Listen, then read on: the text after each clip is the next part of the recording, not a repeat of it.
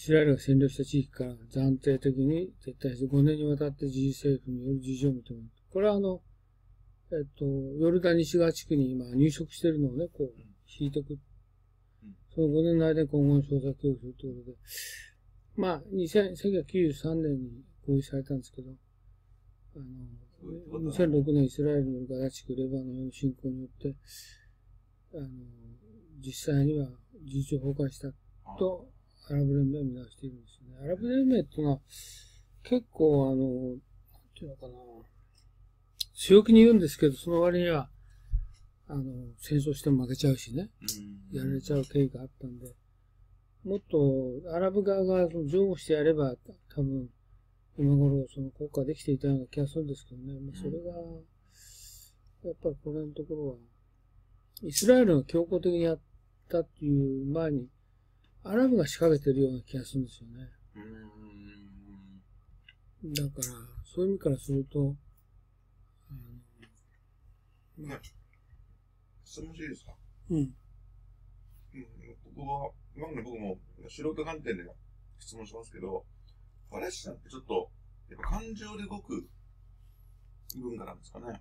いや、民族性でしょう。あの、イスラエルの方がどちらかというと、強硬的な、右派がね、やっぱ支配してるけれども、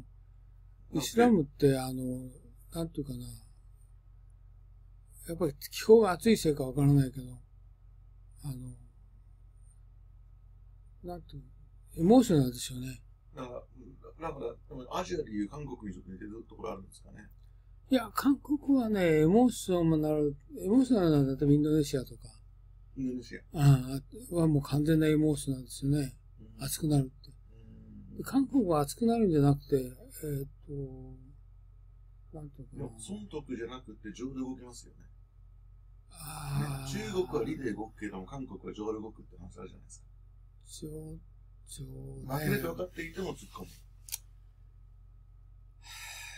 そうかな、情っていうのかな、あれ。情っていうのかな。もともと韓国って儒教の非常に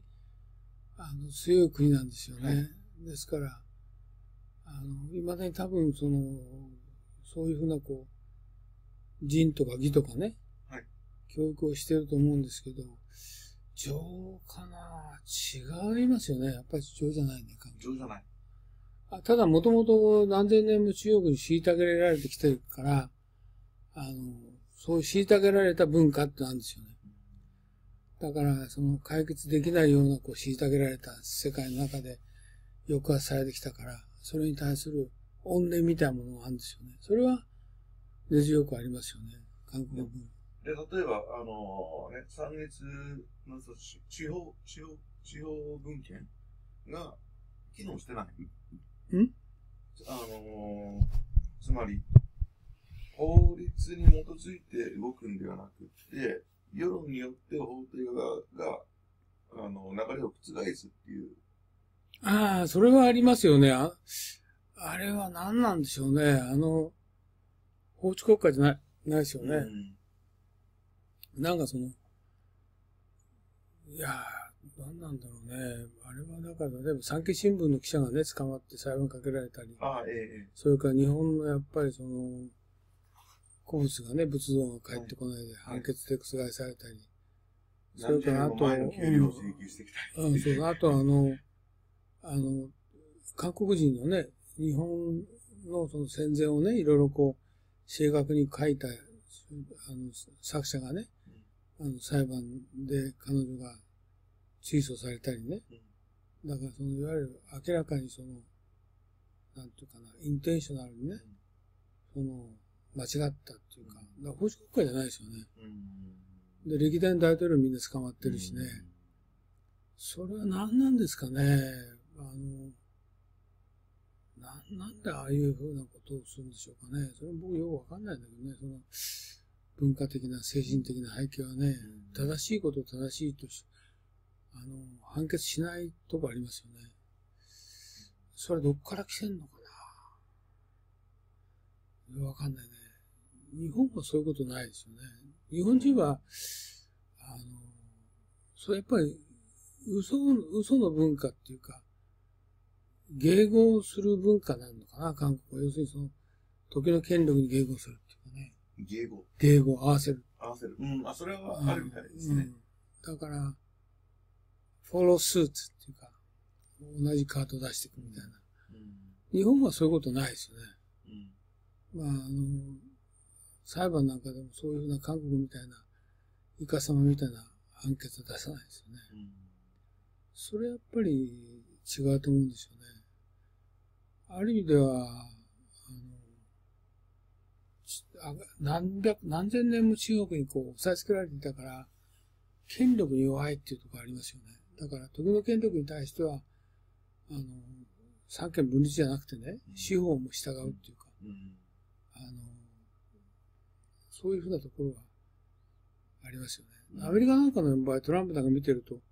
司法はトランプに従ってませんよね。うん三権分立でしょ。うん韓国はそんなことないですよね。やっぱり、時の大統領に従ってますよね。日本はどうかっていうと、まあ、あの、アメリカほど厳格じゃないけれども、日本人ってやっぱ真面目、真面目ですからね、正直に、あの、そういうことを対応しますよね。まあ、時の政府が圧力をかければ、あの、自分の政府内部ではね、今回の今のうん。問題になっているように、財務省なんかね、あの、なびいてますけど、あの、司法はやっぱりなびいてないと思うんですよね。そういう意味では、あの、日本人は真面目ですよね。あの、やっぱりその、まあ、この間もその大東教育権の話したんですけどねはい、日本は真面目正直にそれやったよと言うけど、それはね、やっぱり戦後のね、教育でね、あの、自虐史観というかね、もう自分が悪いんだっていうふうに凝り固まってるんで、戦前のことは何でもかんでも教育直後まで日本人は悪いみたいになっちゃってるんでね、やっぱあれは良くないと思ってますね。うん日本人はやっぱ真面目正直で本当にあの真摯な気持ちでね、世界に対して何かやってやってやろうというふうな純粋ですよね。純粋ですよね。そういうところも。で、じゃあ、ジョン・グリーン見てみますね。はいじゃあ、始めますけど。はい